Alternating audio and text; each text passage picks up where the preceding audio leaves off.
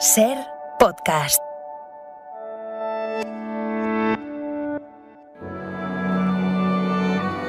Bienvenidos a Sucedió una noche, un programa dedicado al mejor cine de todos los tiempos. I wanna hide from the sun. I wanna live in the dark. I wanna go to the movies. Nobody's waiting outside, but I feel alright cause I'm here on my own. I can kiss Marion and Jane. I can sing in the rain. I can be Superman. I'll never come out again. Las estrellas míticas, los grandes directores, las películas inolvidables. Dirige y presenta Antonio Martínez. Muy buenas a todos y bienvenidos a Sucedió una noche. En el programa de hoy vamos a recordar a James Coburn, un actor todoterreno que brilló especialmente en el western. Cuando sé que voy a hacer un western, cojo un caballo y salgo a montar por ahí para que mis músculos se acostumbren de nuevo. Os contaremos cómo era Steven Spielberg de niño. Tan joven y tan ambicioso. Tengo 15. Spielberg empezó a hacer pelis a los 13. Y en la sección de cine incómodo os hablaremos de Querel, la película más polémica de Fassbinder. Bueno, ya conoces el juego. Si ganas, Lisian es tuya. Si no, serás mío. Leeremos algo de música de cine, jugaremos a las películas y charlaremos un rato con la actriz María Esteve. ¿Todo listo? Pues empezamos. I wanna hide from the sun. I wanna live in the dark and I'll never come back. El espectáculo está a punto de comenzar. Pero no se alarmen ustedes, no les cobraremos la entrada. Lo que el cine nos dejó. Es tan difícil ser alguien que la gente no olvida. Nuestra sección de aniversarios y efemérides recuerda hoy a James Coburn. Este viernes 18 de noviembre se han cumplido 20 años desde que nos dejó este actor que durante varias décadas fue un habitual del cine americano, sobre todo del western, el cine bélico y el cine de acción.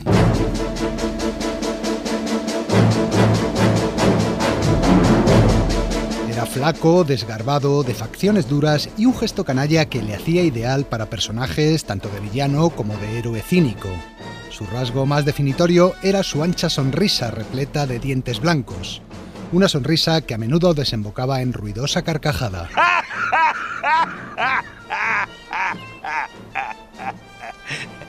Su primer trabajo en el cine le llegó mientras hacía la mili en Alemania.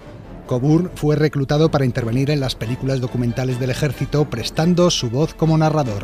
Y es que el actor tenía una profunda voz de barítono desde que de niño sufrió una bronquitis que afectó para siempre a sus cuerdas vocales. During the Civil War, the only lawmen in southern Texas, the Texas Rangers, disbanded to fight for the Confederacy. Aquí le escuchamos haciendo de narrador en la película Texas Rangers. Coburn estudió teatro en Nueva York con Stella Adler y comenzó su carrera en series de televisión y anuncios publicitarios. Tenía ya 31 años cuando debutó en el cine con el western Cabalgar en solitario de Bad Boy Teacher. Tenemos un trato con los mezcaleros, ¿no? Escrito sobre papel mojado, Whit. Nunca hemos tenido problemas. Los mezcaleros son irascibles. Pero si nunca les hemos hecho nada. Somos blancos. Eso es suficiente. Cabalgar en solitario era un western de bajo presupuesto, pero pronto el actor accedió a ligas mayores cuando fue reclutado por el director John Sturges para ser uno de los integrantes de Los Siete Magníficos. ¿Ha tenido suerte? Encontré un hombre perfecto. Con el cuchillo y con el revólver. James Coburn daba vida al lanzacuchillos de los Siete Magníficos, un personaje silencioso que apenas pronunciaba palabra en la película, pero que caló entre el público. Sturges volvería a contar con él para su siguiente superproducción, La Gran Evasión, donde Coburn interpretaba a uno de los pocos prisioneros que conseguía completar la fuga con éxito. Soy oficial británico, acabo de escapar de un campo de prisioneros en Alemania y me propongo llegar a España. ¿Me comprende? ¿Puede ayudarme? Conozco a quien podría. Magnífico. A partir de entonces, Coburn se convirtió en un secundario habitual del cine de los años 60. Le vimos en películas como Charada o La americanización de Emily. Su parecido físico con Lee Marvin hacía que el público les confundiera y que a menudo los productores les ofrecieran los mismos papeles. El actor los recordaba con humor. A veces quedábamos y comparábamos las ofertas que nos hacían. A él muchas veces le llamaban el vaquero lanzacuchillos y a mí me decían, qué bien estuviste en la ingenua explosiva.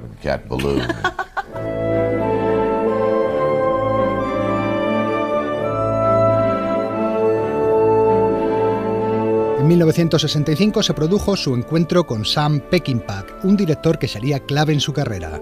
La película era Mayor Dandy y en ella Coburn interpretaba a un explorador manco al servicio del oficial de caballería al que daba vida Charlton Heston. Con los saludos del mayor Amos Dundee de la caballería de los Estados Unidos. Tienen cinco minutos para rendirse o el cielo se les va a caer encima. No se atreverá. Este es un acto de agresión contra una nación amiga. Es una ultrajante violación de las leyes internacionales. Hijo, el mayor no es abogado. Le quedan cuatro minutos. A partir de esta película, Sam Peckinpah y Coburn se hicieron grandes amigos. Creo que puedo recordar cada uno de los momentos que pasé con Sam. Con él podías hacer cosas que no podías hacer con otros directores. No solo te permitía experimentar, te obligaba a darlo todo. Puede que fuera un maldito bastardo insoportable, pero sabía lo que quería. Con él todo estaba justificado. No podías salir ahí y simplemente actuar.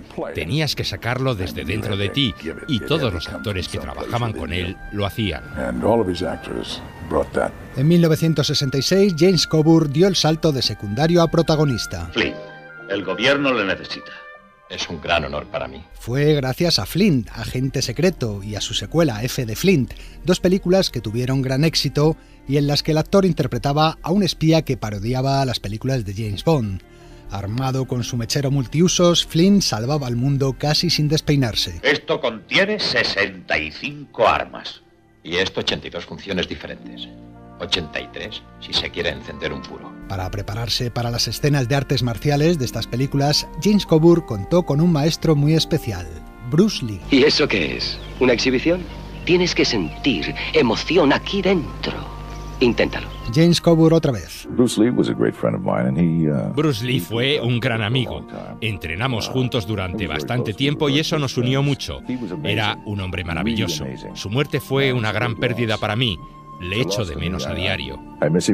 El actor fue uno de los portadores del féretro en el entierro de Bruce Lee y los dos planeaban actuar juntos en una película titulada El Círculo de Hierro, con un guion escrito por ambos que tras la muerte de Lee quedó abandonado.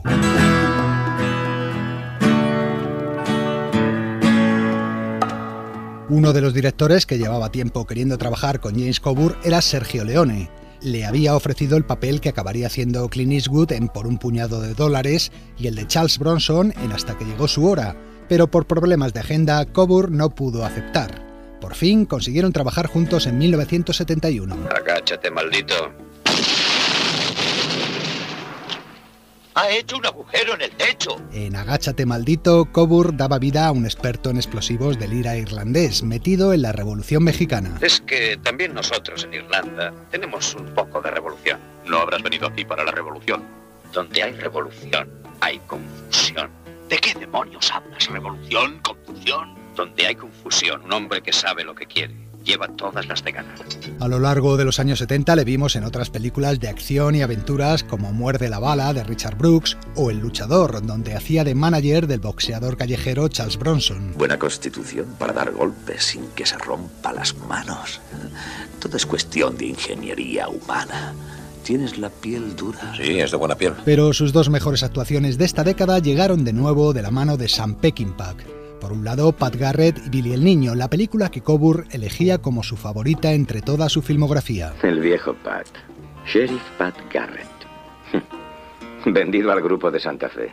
¿Cómo te sientes? Es como si los tiempos hubieran cambiado. Los tiempos tal vez, pero yo no. Y por otro, La Cruz de Hierro, la que los críticos consideran la mejor interpretación de su carrera. En ella daba vida a un desencantado sargento alemán en el frente ruso durante la Segunda Guerra Mundial. Odio a todos los oficiales. A todos los Stransky, a todos los Trivig, a todos los buscadores de la Cruz de Hierro del ejército alemán. ¿Tiene idea de lo que está diciendo? Cielos. ¿Sabe usted cuánto odio yo este uniforme? Y todo lo que representa. Su amistad con Peckinpah le llevó también a participar en la siguiente película del director, Convoy, aunque no como actor. Atención, preparados para un giro brusco a la izquierda en cruce de mucha circulación. ¡Dale! En esta película de camioneros, James Coburn hizo las labores de director de la segunda unidad. A finales de los años 70 los médicos le diagnosticaron una artritis reumatoide De repente el actor apenas podía tenerse en pie, sus dedos y muñecas comenzaron a deformarse. Mírame, mis manos están fatal. Esta va a ser mi última participación. El actor no abandonó el trabajo, pero su carrera se resintió mucho. En las pocas películas en las que aparecía apenas podía moverse, ya que los movimientos rápidos le resultaban muy dolorosos. Tuvo que renunciar a muchos trabajos, algunos ya los tenía firmados incluso como el personaje de Aníbal en la serie El Equipo A, que al final hizo George Pepper. El actor pensaba que su carrera había terminado. Cuando se llega a cierta edad, no es agradable pensar qué vas a hacer el día de mañana. Sin embargo, mediante un tratamiento de medicinas alternativas a base de un compuesto de metilsulfonilmetano, el actor logró una clara mejoría. La efectividad y consecuencias de esta sustancia no están plenamente probadas, pero a James Coburn le permitieron regresar al cine y lo hizo además con una película cuyo argumento conocía muy bien. Si en Pat Garrett y Billy el Niño había dado vida al sheriff que perseguía al bandido, en Intrépidos Forajidos interpretaba al hombre que le contrataba. Sabemos que estuviste con Billy Bonnie en varias de las ocasiones en que me robó ganado. Pat, buscamos a alguien que conozca sus tácticas, sus escondites, alguien que conozca cómo opera. No entiendo bien lo que están diciendo. Hablamos de ti, como sheriff del condado de Lincoln.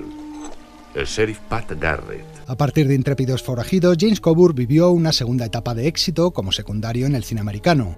Le vimos jugando al póker con Mel Gibson en Maverick. Bueno, ya que me están dando una paliza, creo que voy a apostar todo lo que me queda. El Comodoro apuesta 25 mil dólares. Esto cubrirá lo del Comodoro. ¿No va a mirar usted su carta? No hace falta. Al lado de Schwarzenegger en Eraser, de Bruce Willis en El Gran Halcón o de Eddie Murphy en El Profesor Chiflado. Muy bien, profesor. ¿Puede explicarme el estado de sus investigaciones? Oh, no, es justo al revés, Rockefeller. Usted tiene un minuto para escuchar. Y cuando menos se lo esperaba, llegó el premio. And the Oscar goes to James Coburn in a James Coburn ganó el Oscar al mejor actor de reparto en 1998 por su papel en Aflicción de Paul Schrader, donde interpretaba al padre alcohólico y violento de Nick Nolte. Menudos hijos tengo. Cobardes y fanáticos de Jesús. Suelta o te parto la cara. Escúchame, si vuelves a tocarla, te juro que te mataré. Ah, veo que sigues defendiendo a tu hermanito, ¿eh? Tras el Oscar, Coburn aún participaría media docena de películas más. La última que rodó fue Aventuras en Alaska en el año 2002. En ella daba vida a un veterano corredor de carreras de trineos. ¿Cuánto quieres por estos chuchos? Te daré 200. Bueno, creo que es muy poco. ¿Crees que intento estafarte? ¿Por qué no salimos afuera y lo arreglamos al estilo esquimal? ¡Eh, eh! Solos tú y yo. Una cuerda y un cuchillo. Y el último hombre vivo se queda con los perros.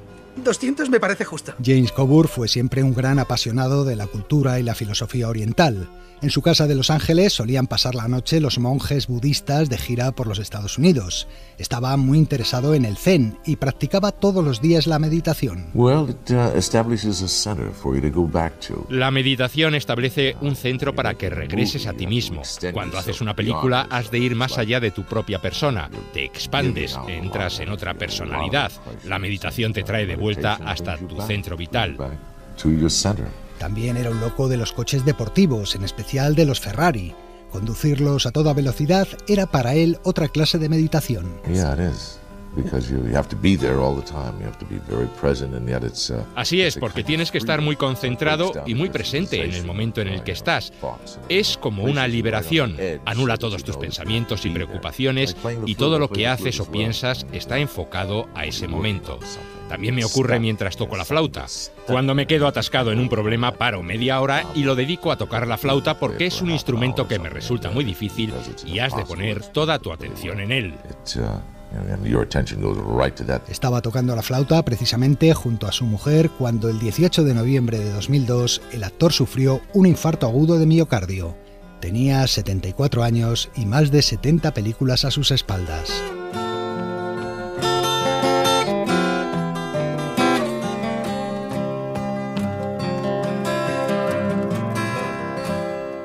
Los habituales ya sabéis lo que os toca ahora, exprimir vuestra memoria auditiva y cinematográfica para adivinar las tres películas de nuestro juego de esta semana. Jenny, hoy he dejado mi empleo. Y le dije a mi jefe que le dieran por culo y con chantaje le saqué casi 60 mil dólares. Pásalos, Smart. Tu padre piensa que ese comportamiento es como para sentirse orgulloso. Y tu madre prefiere que pase por la vida como un esclavo de mierda mientras ella guarda mi chorra en un frasco de cristal. ¿Cómo te atreves a hablarme así delante de ella? Me sorprende que te refieras a mí de modo tan despectivo el mismo día en que has perdido tu trabajo. No, lo he perdido, no es, oh, ¿dónde está mi trabajo? Lo he dejado. Que alguien me pase los espárragos.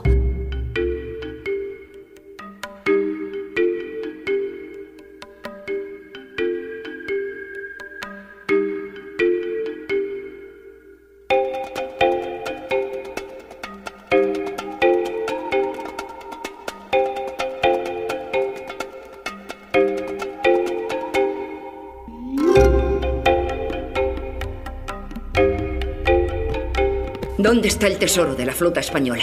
Por desgracia, vos ordenasteis regresar a la flota de Cádiz antes de que ejecutara mi plan. Por desgracia, el tesoro de la flota española, 12 millones de ducados, yace en el fondo del puerto de Cádiz, hundido por los propios españoles, mientras Essex, contraviniendo los consejos de Howard y Raleigh, ganaba fama para sí tomando la ciudad. Era lo único honroso que podía hacer por la gloria de Inglaterra. Por la gloria de Essex.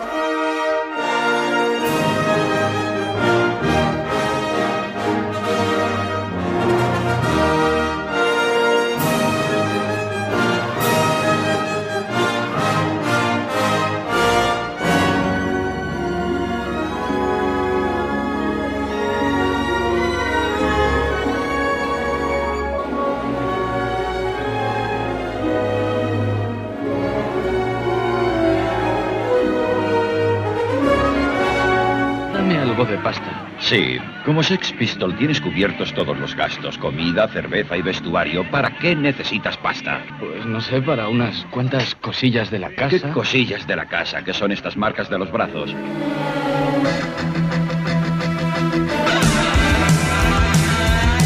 regrets.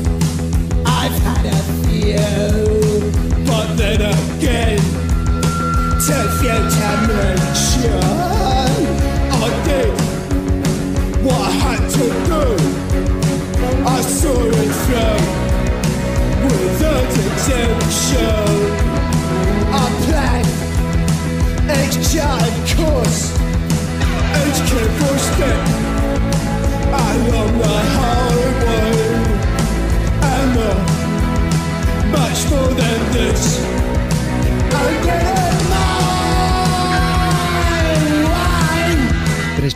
muy diferentes con las que jugábamos hoy.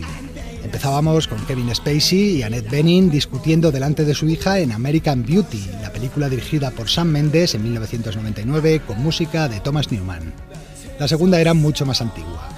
Bette Davis y Errol Flynn discutían también en La vida privada de Elizabeth y Essex, una película dirigida en 1939 por Michael Curtis que contaba el amor imposible entre la reina Isabel I de Inglaterra y el conde de Essex, uno de sus capitanes más fieles. La música de esta película era obra de Eric W. Corgol. Y terminábamos con Sid y Nancy, el biopic del bajista de los Sex Pistols, Sid Vicious, que Alex Cox dirigió en 1986 y al que todavía escuchamos de fondo es a Gary Oldman, protagonista de la película, imitando la versión del My Way que grabó Sid Vicious. Dale un título y lo escribirá. Enciclopedia Curiosa del Cine. Parece más una bomba que un libro. The Fabelmans, la nueva película de Steven Spielberg, se estrenó la semana pasada en cuatro salas de Nueva York y Los Ángeles, y el próximo miércoles día 23 lo hará ya de forma general en todo Estados Unidos. The Fabelmans se anuncia como una historia semi-autobiográfica basada en los recuerdos de infancia del director cuando vivía en Arizona. En España la película se iba a estrenar el día 25 de noviembre, pero finalmente se ha retrasado para el mes de febrero de 2023, ya que se espera que sea una de las películas con bastantes candidaturas en los próximos Oscar. Nosotros, como aperitivo, hemos buscado en nuestra enciclopedia para ver qué trae sobre el Spielberg niño, sus gustos, su educación y las aficiones que de alguna manera han marcado su carrera como director.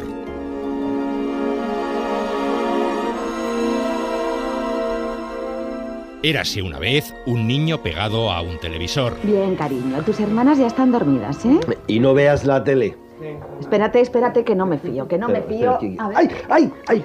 Ay, menos mal que no salimos mucho. Si no, me dejas como una bola de billar. Su pasión por la televisión era tan compulsiva que cuando sus padres salían de casa dejaban envuelto el televisor en una manta y colocaban estratégicamente unos cabellos para saber si Steven había estado viéndola a escondidas.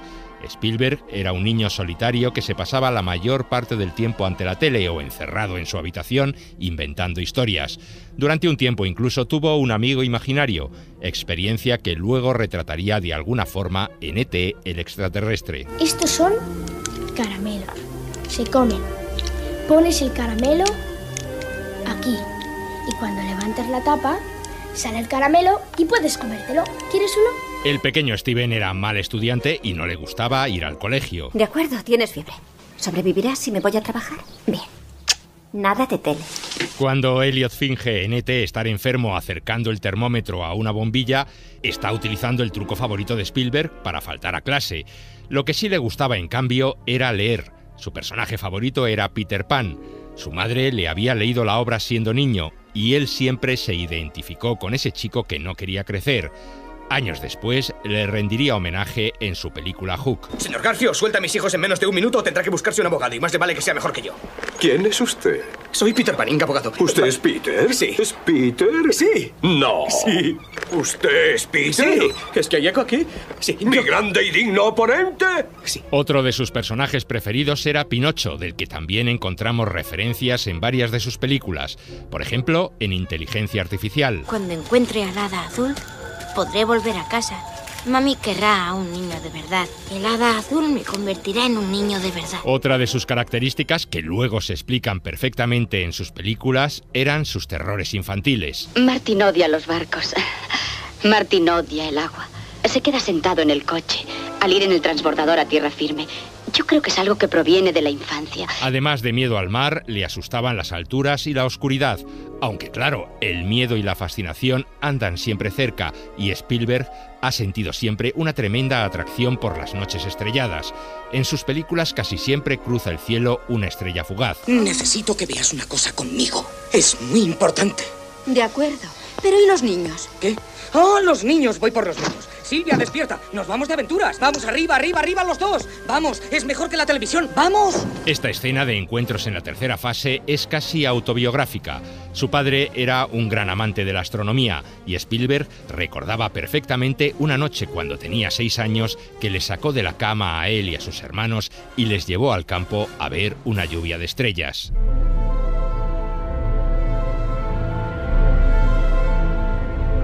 También heredó de su padre la pasión por las máquinas y la tecnología. ¿Cómo funciona esto? La leche de fotones actúa como nutriente y como conductor líquido. Intensifica las imágenes que reciben. Escaneamos con tomografía óptica. Unos puntos de luz blanca vibran por el casco y son releídos después de ser absorbidos por el tejido cerebral. Su padre era técnico electrónico y el director recuerda también que su juguete favorito de pequeño era un tren eléctrico que este le regaló, aunque el uso que le daba no era el más habitual. ¿Qué ha ocurrido aquí? Oh, ¿te refieres a mi cuarto? Esto no es un cuarto. Esto es un accidente. Ahora estaba reorganizando. A Spielberg le encantaba montar choques de trenes y descarrilamientos. Entonces ahora va por Steven, Steven, Steven, Sí, hijo, sí, otra vez jugando a los trenes. Pues sí. Vamos a ver, mira, sabes que arreglarlos me ha costado 450 dólares más. No, no hay forma de que juegues a los trenes sin descarrilamientos, sin choques, sin papá. accidentes. No, pero no, hijo. Entonces Steven, no Steven, me- no volveré a pagar dinero por arreglar esos trenes. Te diviertas, hasta luego. Bueno, pues si papá no me deja jugar más a chocar los trenes, tendré que hacer otra cosa. Pocos días después, el niño reunió a toda su familia en el salón. Venga, sentaos todos en el sofá rápido. A ver, venga, Steven, venga. ¿qué quieres que veamos? ¿Qué has Venga. hecho, Steve? ¿Qué has hecho? Pues nada, que papá me dijo el otro día que no quería que hiciera más choques con el, con el tren eléctrico porque se rompían todos los vagones y las locomotoras. Claro, naturalmente. Sí, bueno, pues yo como soy muy obediente ya no voy a volver a hacer ninguno más.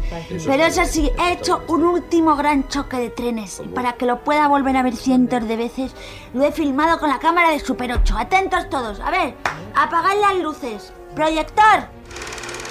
¡Chan, chan, chan! Steven Spielberg presenta el gran choque de trenes. Y es que en la cámara de Super 8 de su padre, Spielberg había encontrado un juguete aún mejor. Gracias a ella podía crear y enlatar sus sueños para verlos una y otra vez. El recuerdo de esta anécdota lo recrearía años después en una escena de encuentros en la tercera fase. Digamos que este vagón tiene 20 metros de largo. Sí. Y que la tercera parte está encima del cruce de vías. Y ahora viene por aquí este otro tren. ¿Qué distancia hay que apartar el vagón de la vía para que el tren no le atropelle? Deprisa, Brad, que hay muchas vidas en juego. Brad, algo.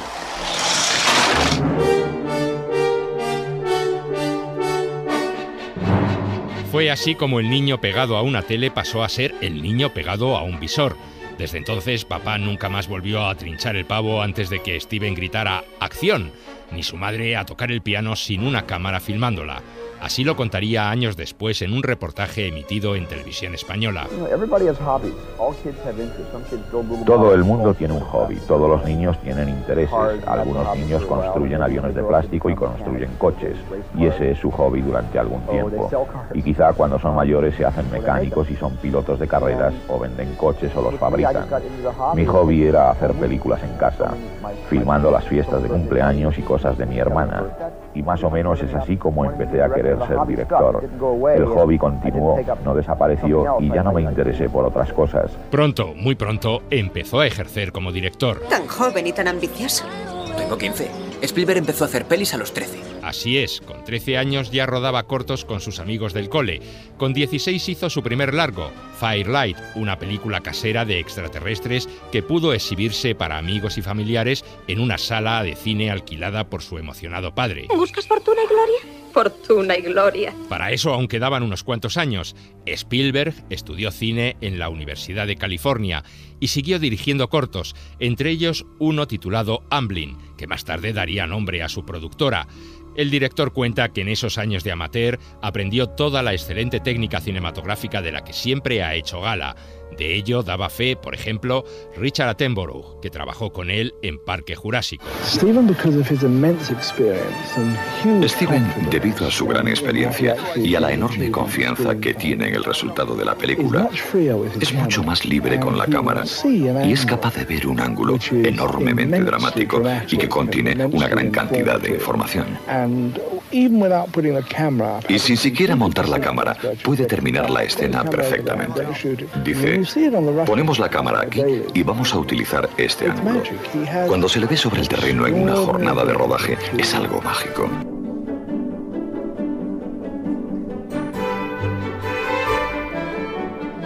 Cuando acabó sus estudios se dedicó a buscar trabajo en la industria del cine, pero como no le salía nada, un día se puso un traje, se plantó en los estudios de la Universal y se instaló, sin decir nada a nadie, en un despacho vacío. Cada mañana se colaba en los platós y espiaba los rodajes. Tienes que convencerles de que tienes un oficio, algo útil. Y eso hizo. Aprovechando que su cara le resultaba familiar de verle por allí, Spielberg consiguió que algunos jefazos vieran sus cortos e impresionados le encargaron su primer trabajo, un hueso duro de roer. A ver, quiero hablar con el director. Quiero hablar con el director. Es que esto, esto no hay quien entienda este guion. ¿eh? Quiero que alguien me lo explique. Pero ¿quién se creen que soy? Pues, por favor, yo soy John Crawford. Soy una estrella. En declive, es cierto, pero soy una estrella. Así que que alguien me explique esta basura, porque no la entiendo. Hola, hola Joan, soy el Sí. director. ¿Qué tal? ¿En qué puedo ayudarte? Lo que me faltaba. Spielberg debutó como director con un capítulo de una serie de televisión protagonizada por la mítica Joan Crawford. A su lado parecía un niño, pero supo ganársela enviándole todos los días una botella de Pepsi Cola vacía con una rosa dentro. No en vano, Joan era viuda de un alto ejecutivo de esa marca de refrescos. Soy la propietaria de 100.000 acciones. Soy miembro del consejo directivo de esta compañía. Tras aquella primera experiencia, el director se fue curtiendo en series como Marcus Welby o Colombo. Así durante tres años, hasta que el éxito se cruzó en su camino en forma de camión asesino. ¿Qué le ha pasado? Un camionero trató de matarme. ¿Matarlo? Sí. ¿Cómo? Siguiéndome cuesta abajo. A 140 por hora. Eso es querer matarle a uno, digo yo. Y tiene razón. El Diablo sobre Ruedas era un telefilm de terror en el que el mal no estaba representado por un psicópata o un monstruo, sino por un enorme camión que acosaba a un conductor. El telefilm tuvo un gran éxito y ganó numerosos premios, hasta el punto de que en Europa se estrenó en pantalla grande. Comenzaba así la carrera del director con más éxito comercial de la historia del cine. Deja que lo adivine. ¿Fan de Spielberg? Digamos que simplemente le idolatro, sí. Su carrera está reflejada en las paredes. Todo está dispuesto en orden descendente de recaudación. Ahí van los grandes éxitos. Parque Jurásico, ET, Tiburón y la serie de Indiana Jones. Y en la pared de aclamadas por la crítica, tengo la lista de Schindler y el color púrpura. Ah, y también, por cuestión de humildad, tengo puestas las demás. Yo creo que todas las respuestas de la vida están reflejadas en alguna peli de Spielberg. Cuando tengo un problema, veo la película adecuada de Spielberg y llega a la solución. Nada más llegar a Hollywood para realizar Ciudadano Kane, Orson Welles dijo que el cine era el tren eléctrico más maravilloso que se podía tener. Spielberg no solo ha jugado a su antojo con ese tren eléctrico gigante, se ha divertido, se ha hecho rico y ha hecho disfrutar al público como pocos directores. No dejes de ser un niño o no harás otra película. Probablemente no pase por aquí ni una sola persona a la que no haya conmovido alguna de tus películas. Ese es tu don, naciste con él. Utilízalo. Y en esa sanda, a pesar de sus 75 años, Spielberg sigue siendo aquel niño que jugaba con su tren.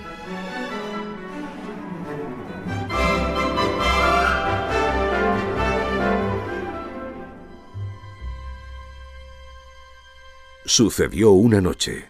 El cine clásico en la SER.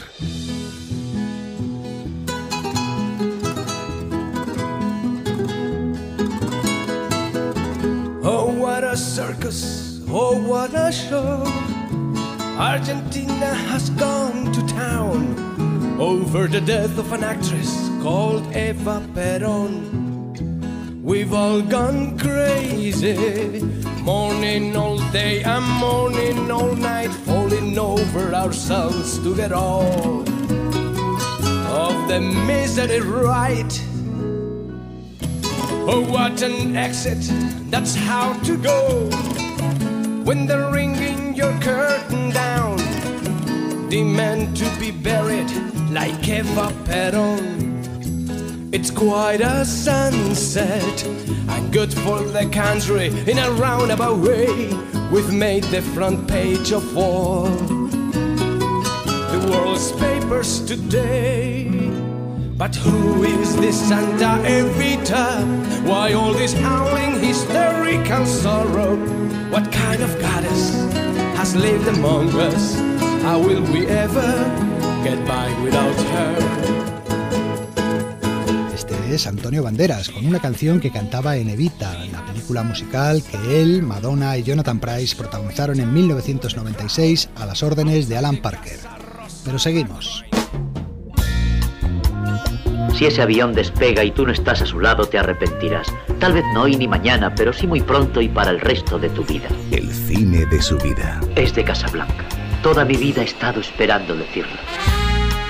Tenemos hoy como invitada a María Esteve, la actriz a la que hemos visto en películas como Nada en la nevera, por la que fue candidata al Goya como actriz revelación, El otro lado de la cama, por la que consiguió otra nominación al Goya como actriz de reparto, y la continuación de este film, Los dos lados de la cama, entre otros muchos títulos. María Esteve es hija de dos leyendas del cine y del baile en España, Marisol y Antonio Gades, y en los últimos tiempos la vemos un poco menos en las pantallas o en el teatro, porque está volcada trabajando en la Fundación Antonio Gades, que conserva y difunde el legado de su padre. María Esteve ha sido jurado en la 48 edición del Festival de Cine Iberoamericano de Huelva, que se ha clausurado este pasado viernes, y allí, en Huelva, charlamos con ella, comenzando por su nacimiento en Argentina, en concreto en Mar del Plata.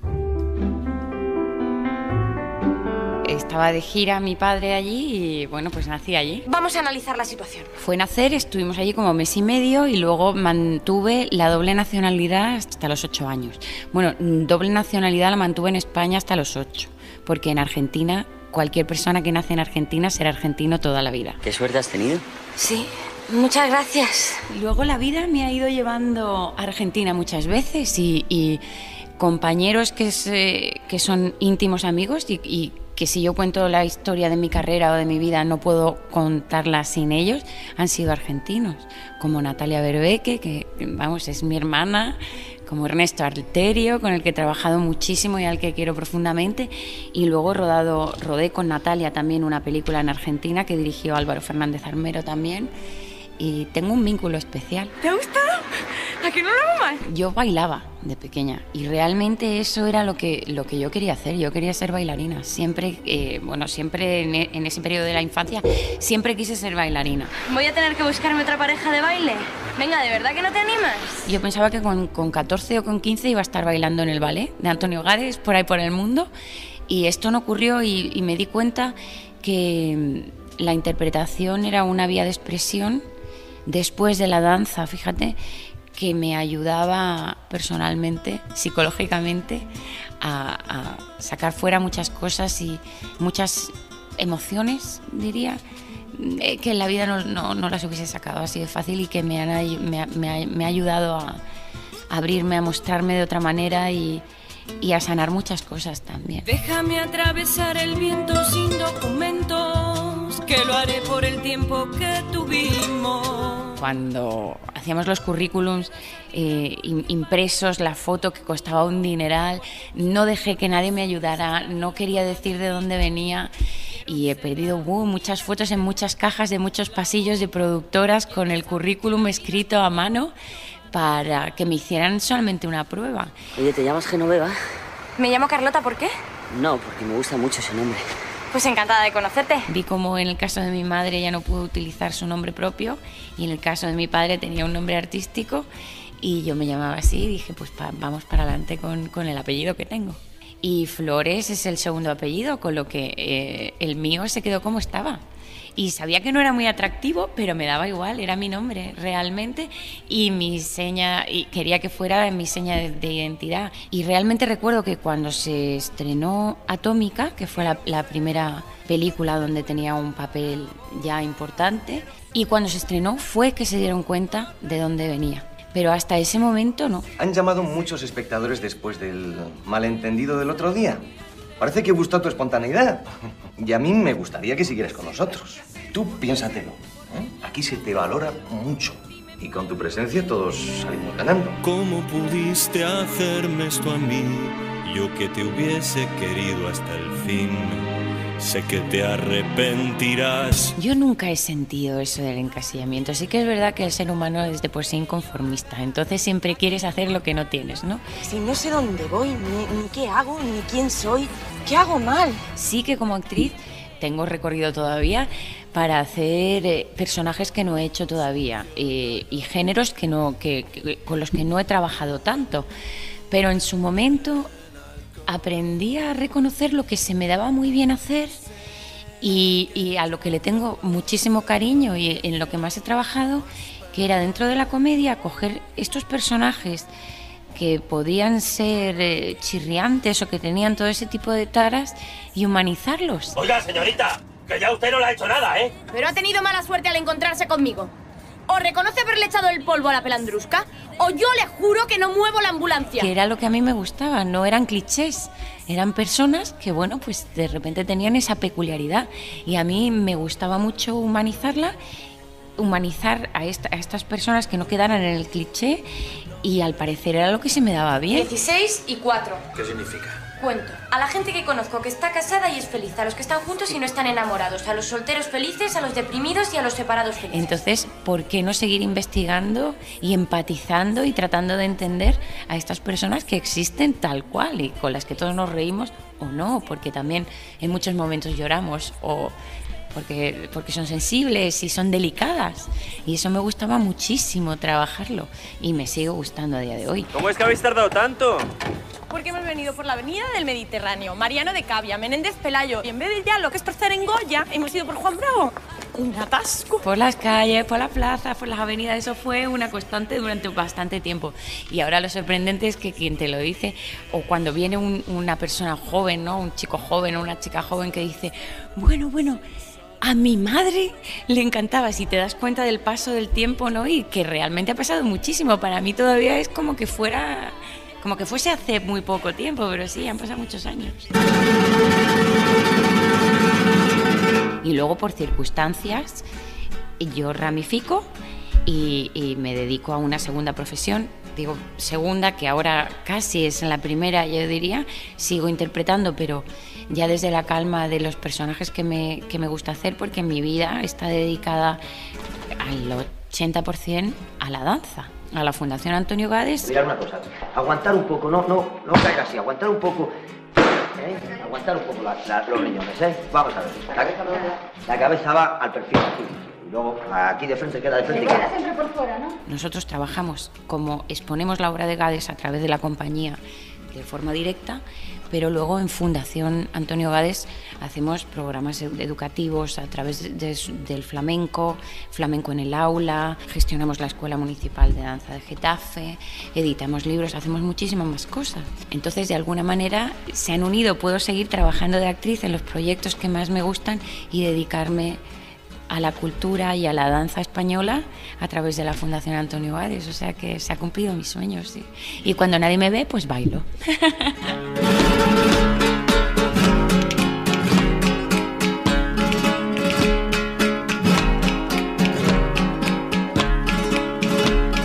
Sucedió una noche.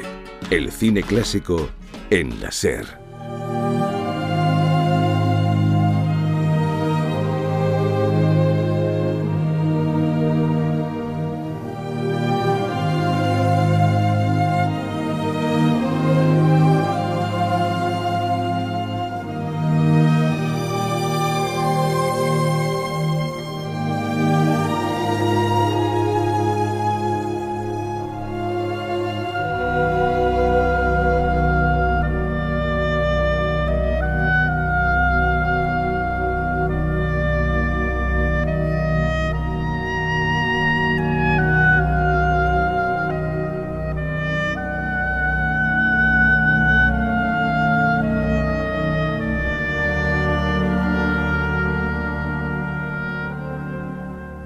Suena la música que Bernard Herrmann compuso para El Fantasma y la señora Muir, una película que mezclaba fantasía y romance y que fue dirigida por Joseph Mankiewicz en 1947, con Jim Tierney y Res Harrison de protagonistas. Y ahora, turno para Jack Bourbon. Jack Bourbon presenta Cine Incómodo. Basta. No estoy dispuesta a consentir inmoralidades en nuestras pantallas. Este espectáculo degradante y depravado ha de terminar ahora mismo. Sexo, violencia, religión, política. ¿Oyes ese silbido? Es una bomba que cae del cielo y va a impactar en 400 cines a la vez. Las películas más polémicas de la historia del cine. ¿Qué tal amigos? Hoy en día a nadie le extraña y mucho menos escandaliza que personajes homosexuales aparezcan como cualquier otro en las películas. Pero esto no siempre fue así, al menos en el cine comercial. Hasta prácticamente la década de los 80 del siglo XX, los homosexuales en las películas aparecían casi siempre retratados de forma estereotipada personajes amanerados a los que se ridiculizaba o parodiaba, cuando no asesinos, perturbados o seres infelices. Al parecer se daba por sentado que todos los personajes de una película eran heterosexuales y al que no lo era se le mostraba como alguien diferente, excéntrico o fuera de la norma. La película que os traigo hoy sufrió persecución y censura por abordar la homosexualidad. Se titula Querel, escrito Querelle, y fue dirigida en 1982 por el alemán Rainer Barnes Fassbinder. Y es que el cine, como la propia sociedad, ha tenido que evolucionar mucho en las últimas décadas para que la temática LGTBI no sea considerada provocadora y obscena por buena parte del público.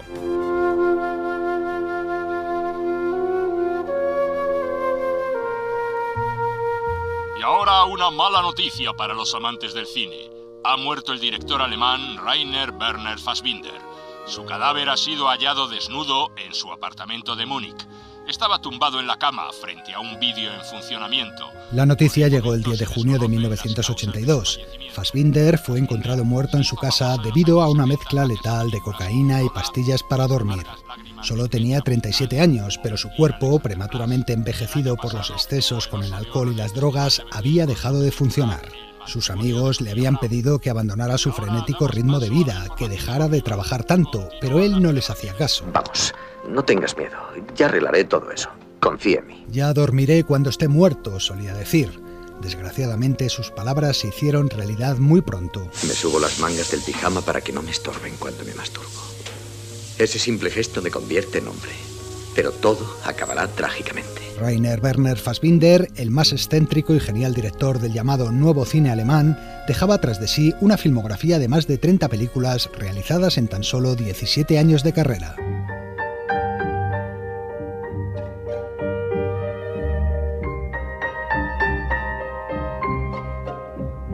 Con sus historias llenas de pasiones en conflicto, Fassbinder se planteó la renovación del melodrama en los años 70, con títulos como Las amargas lágrimas de Petra von Kant, Todos nos llamamos Ali o El matrimonio de María Brown.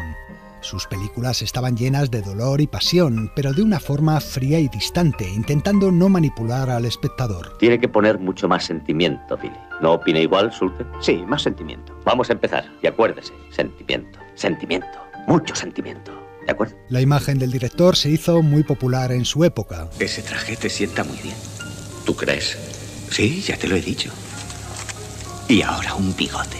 Bigote de morsa, ojeras de adicto al trabajo, vestido con una vieja cazadora de cuero y un sombrero de ala ancha, y rodeado siempre de travestis, chulos y demás lumpen. Fassbinder era bisexual y no lo ocultaba. En casi todas sus películas aparecen personajes homosexuales. No nos besaremos. Por supuesto que no. Te daré solo el culo. Nada más. Descuida. Es todo lo que necesito. Su figura era la imagen misma de la provocación, y provocar había sido siempre uno de los objetivos de su cine. Querel, convertida en su testamento cinematográfico, ya que la terminó pocos días antes de su muerte, no se iba a quedar atrás. Más aún, acabaría siendo la película más polémica de la carrera de Fassbinder. ¿Ninguno de los presentes quiere follar conmigo? ¡Por favor! Esto, esto es una vergüenza. ¡Vámonos! ¡Vámonos! Y que lo digas, Begoña. Y que lo digas en un festival de esta categoría. ¡Vámonos! Las dignas señoras de la burguesía donostiarra abandonaban la sala del Teatro Victoria Eugenia completamente indignadas. No había por entonces costumbre de ver en la pantalla escenas de amor homosexual reflejadas de forma tan directa y sin concesiones. Debes tener cuidado. Según dicen, hace bastante daño. No te preocupes. Además, esta no es la primera vez que te dan. Esta es la primera vez. Te lo juro, puedes creerme. No intentes hacer nada raro conmigo. La película se exhibía en el Festival de San Sebastián. Antes lo había hecho en el de Venecia, donde la prensa conservadora la atacó a degüello. El presidente del jurado, Marcel Carnet, formuló una protesta formal por las presiones que había recibido para que la película no obtuviera ningún premio. La censura italiana trató de impedir su estreno y al menos consiguió mutilar algunas de sus escenas más explícitas. Por toda Europa se hablaba del escándalo de Querel.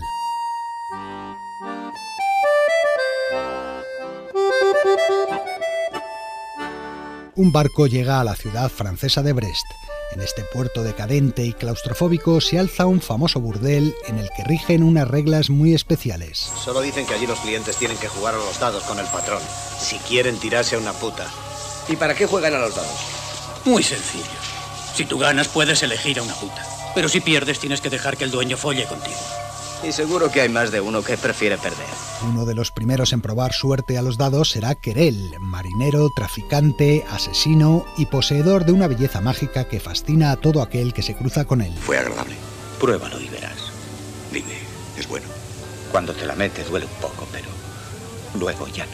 Fassbinder cuenta la historia de Querel con una estética premeditadamente artificiosa y teatral iluminación colorista, decorados barrocos y llenos de símbolos fálicos. Entre estos hombres se crea un universo del cual la mujer es rechazada. Esta ausencia obliga a los dos hombres a arrancar un poco de feminidad del interior del otro, para inventar así la mujer. El vestuario es puro Villas People, cuero, camisetas sin mangas, marineritos de gorro con borla. Todos los personajes están heridos de una homosexualidad latente que poco a poco irá saliendo a la luz. ¿Te gusta? Ya te lo he dicho, el tamaño no me interesa. Ahora mastúrbame. Fassbinder encontró a su protagonista ideal en el actor americano Brad Davis, que por entonces había conseguido bastante fama gracias a la película El Expreso de Medianoche. Eres muy guapo. No exageres, no más que otros. Tonterías, me imagino, no, no. Debió ponerse cachondo contigo en cuanto te vio. Junto a él, Jean Mogot, como la madame de ese burdel en el que solo se aman los hombres, o Frank Conero, que da vida al capitán del barco, enamorado en silencio del marinero. Le amo. Los oficiales me aburren porque no puedo ser un marinero.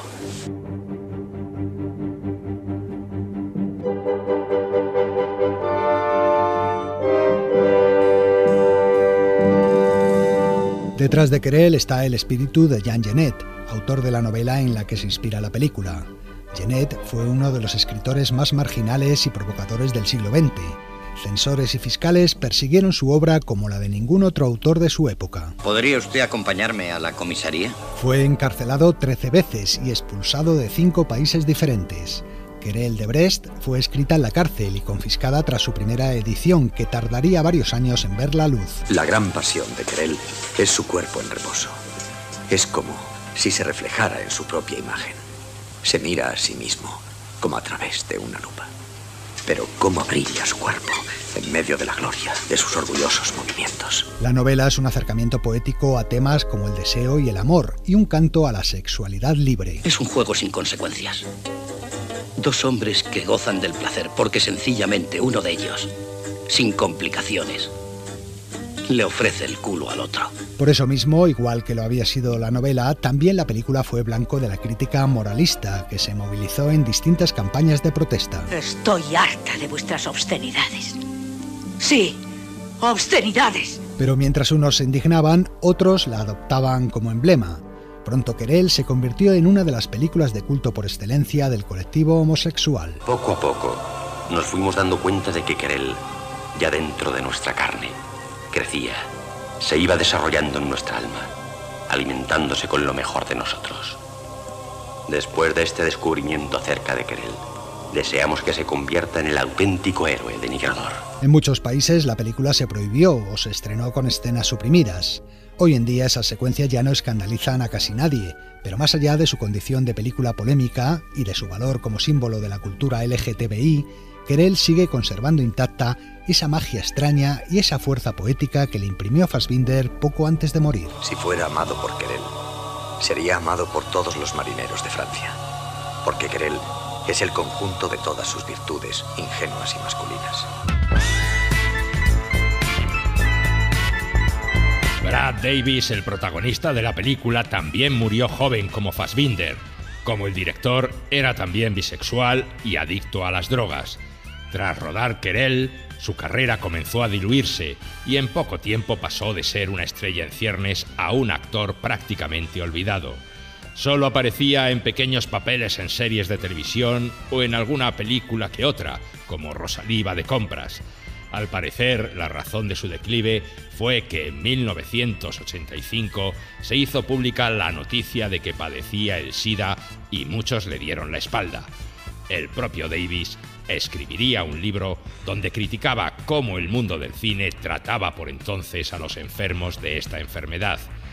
Murió a los 41 años debido a una hemorragia interna aguda, aunque tiempo después su viuda confesaría que su muerte fue en realidad un suicidio asistido. En fin, amigos, hasta la semana que viene. Continuará.